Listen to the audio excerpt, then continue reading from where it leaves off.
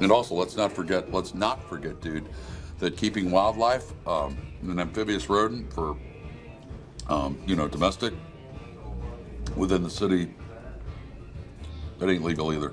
What are you, a fucking park ranger now? No, I'm just trying Who to gives offer. a shit about the fucking marmot? we are sympathizing here, dude. Fuck sympathy. I don't need your fucking sympathy, man. I need my fucking Johnson.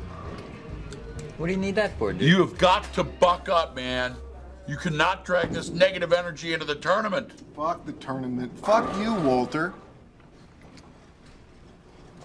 Fuck the tournament?